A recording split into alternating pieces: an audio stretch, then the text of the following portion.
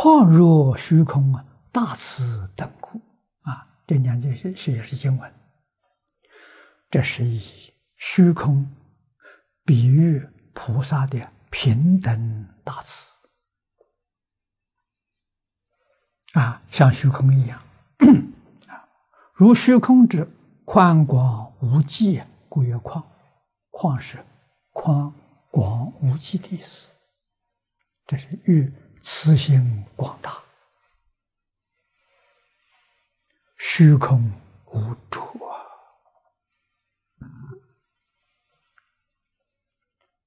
这个无主是没有边际，虚空对一切法都不执着。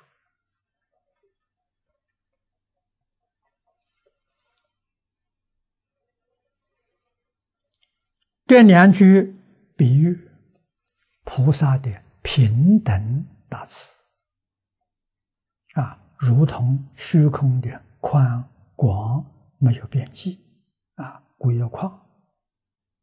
一喻慈心广大，虚空无主，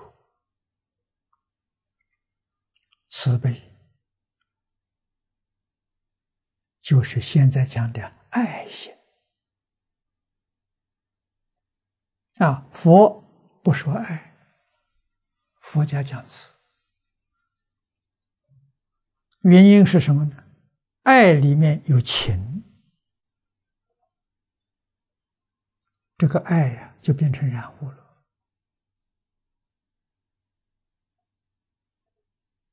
如果把情换成智慧，这个爱就叫慈悲。啊，所以慈悲是建立在智慧的基础上，爱是建立在亲情的基础上，这是有分别的。啊，换一句话说，我们用最简单的话说，爱里头有感情，慈悲里头有理智，啊。理智跟感情不一样，它有理性。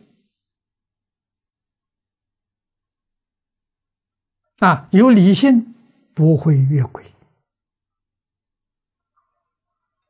啊，感情用事往往就出流弊了。啊，就惹了麻烦出来了，所以在佛法里。智根心，嗯，它是并重的。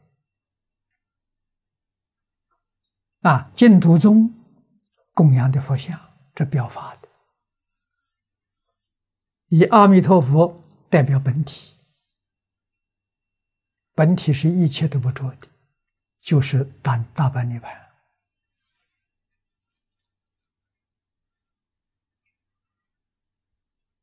啊，无量的光明，无量的智慧，一切都无量。啊，两位菩萨也是表法的，表从体起用。观音菩萨代表慈悲，大势至菩萨代表智慧。啊，智慧跟慈悲一定要合一，才能办事啊！啊，对自己才能帮助自己不断向上提升。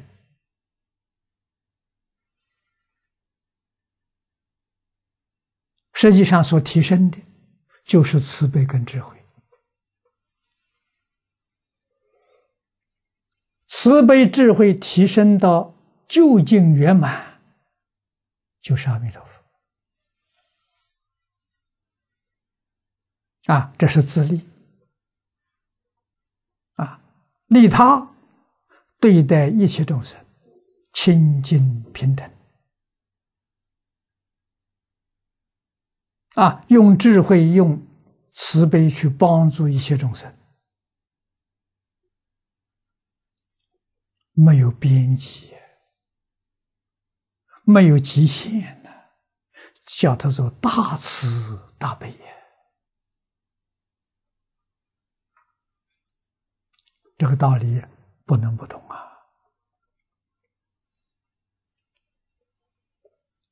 唯有大慈大悲啊，在中国过去，毛主席有一句话，我们常常在马路上都看到这个标语：“全心全力为人民服务。”那是谁呀？那大慈大悲。佛菩萨才能做到啊，不是佛菩萨做不到啊。